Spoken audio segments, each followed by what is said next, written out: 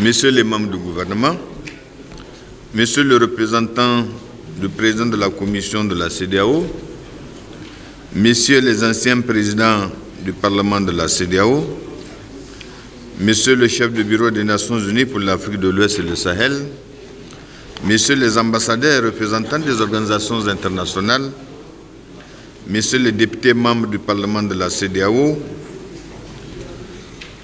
Monsieur le gouverneur de la région de Niamey, honorables collègues, mesdames et messieurs, au nom de la représentation nationale du Niger, je voudrais très cordialement remercier le Parlement de la communauté économique des États de l'Afrique de l'Ouest pour l'honneur qu'il fait encore une fois à notre pays, à son assemblée, en organisant à Niamey ce forum autour d'une thématique qui occupe aujourd'hui le devant de l'actualité.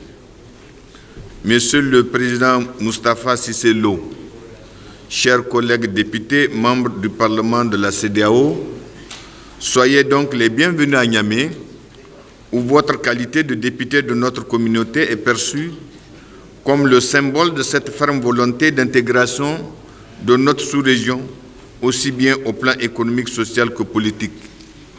Ici, lorsqu'on évoque la CDAO, il y a pour nos concitoyens comme une promesse pour un avenir communautaire radieux et prospère. Comme le pari de faire avancer à grands pas tous ces gigantesques chantiers qui concourent à la construction d'un espace de solidarité et d'efforts communs dans un but ultime d'émergence pour notre sous-région dans son ensemble.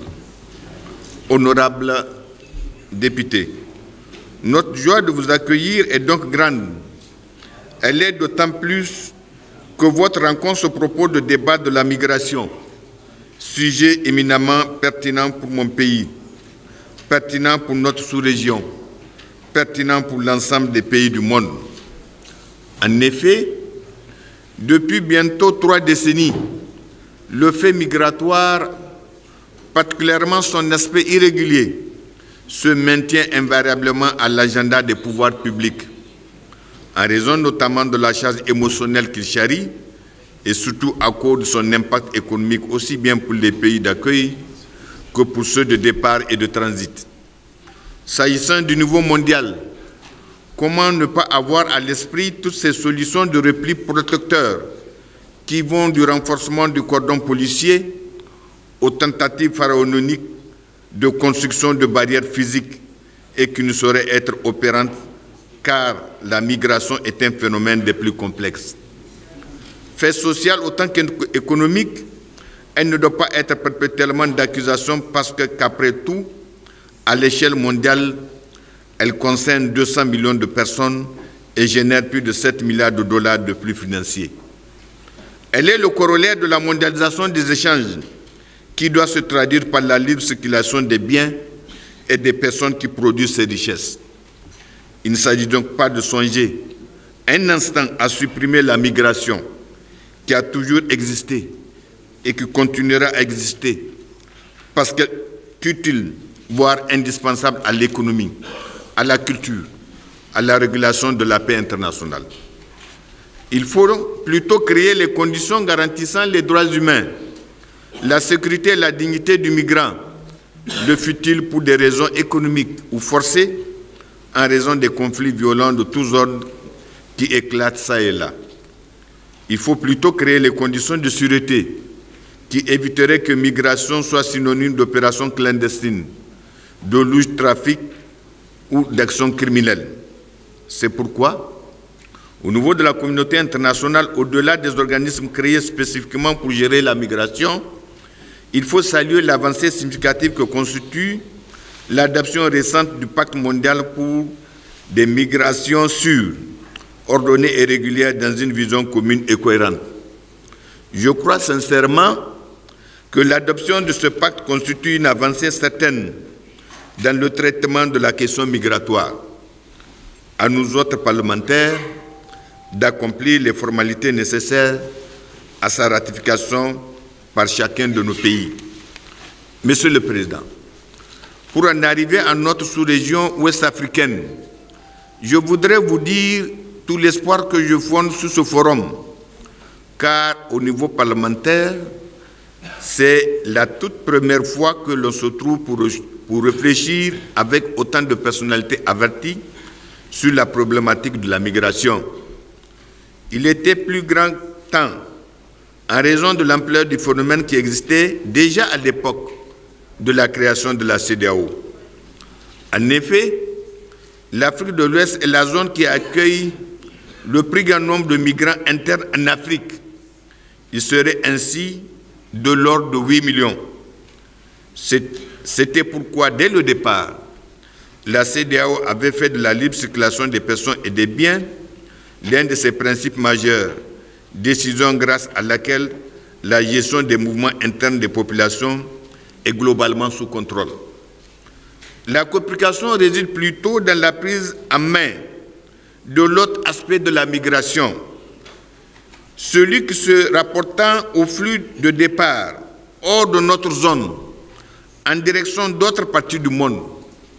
En effet, Monsieur le Président, en raison de la position géographique de notre espace, nous sommes sillonnés de nombreux circuits de circulation de migrants en direction de l'Europe et de l'Amérique, le plus souvent dans les conditions les plus irrégulières.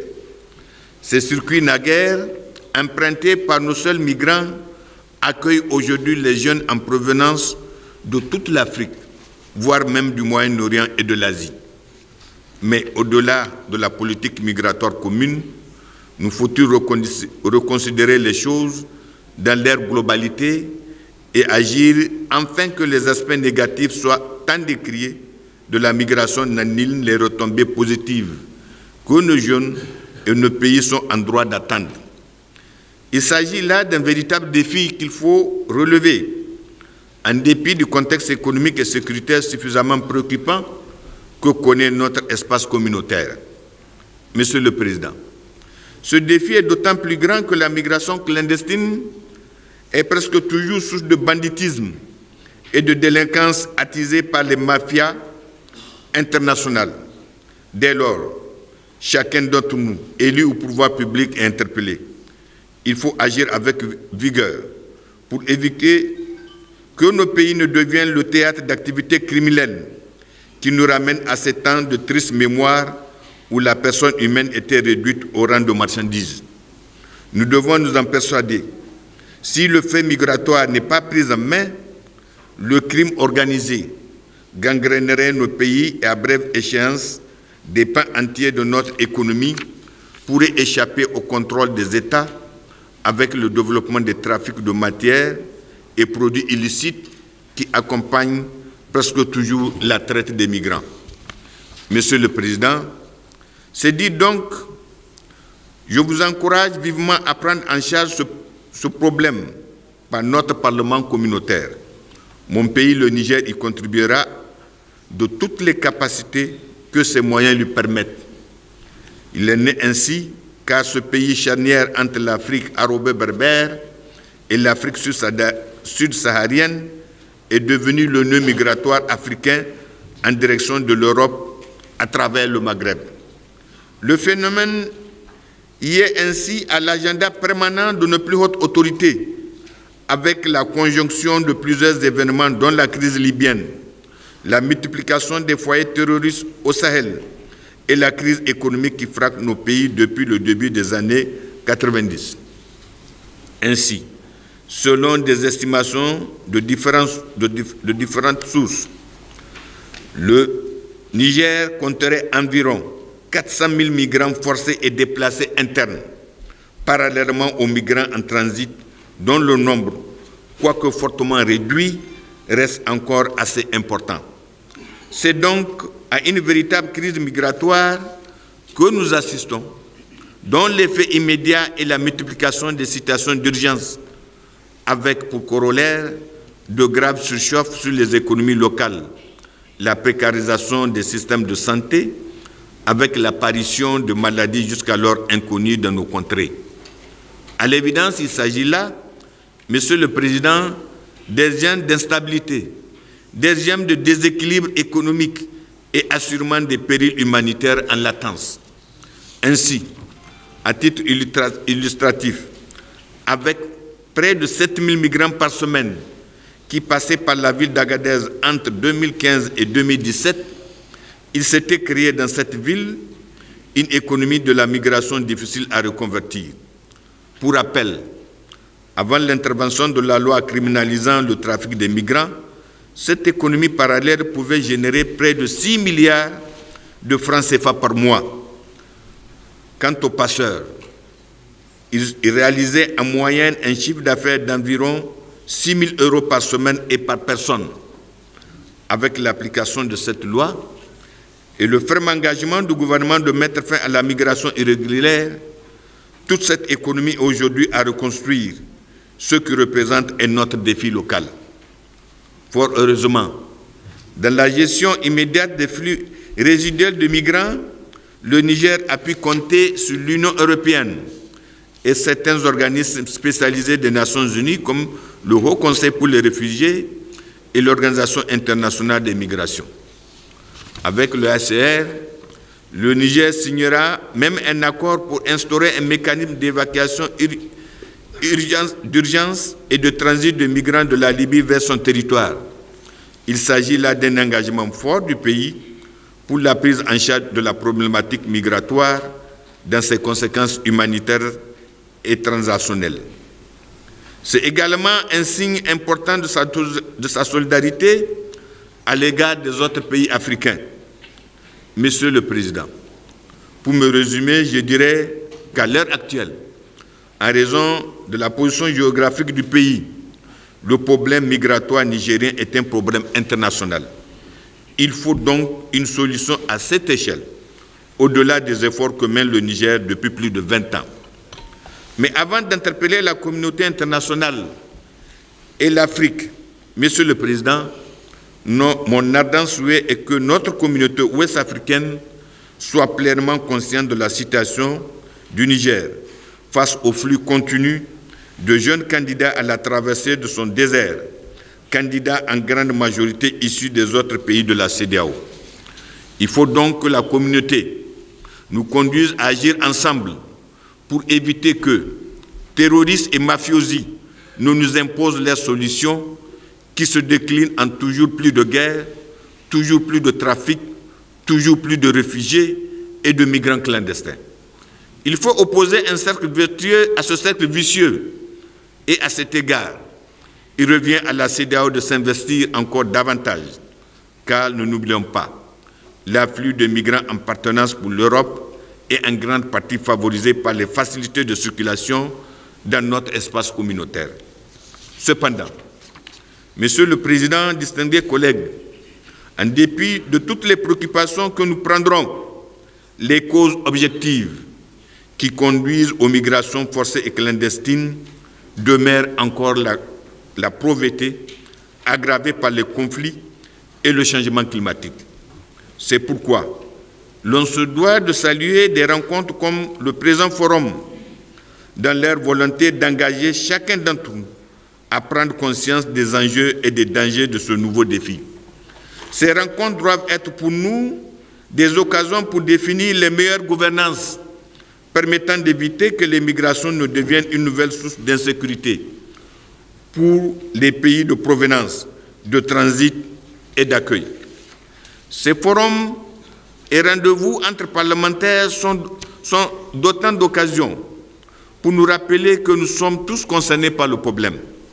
Nous devons donc agir afin que la migration ne fasse pas reculer les progrès que l'humanité a patiemment capitalisés en matière des droits de la personne humaine. Nous devons nous impliquer dans sa gestion afin que l'avenir de, nos pays ne soit pas compromis par la perte des meilleurs éléments de leur jeune génération.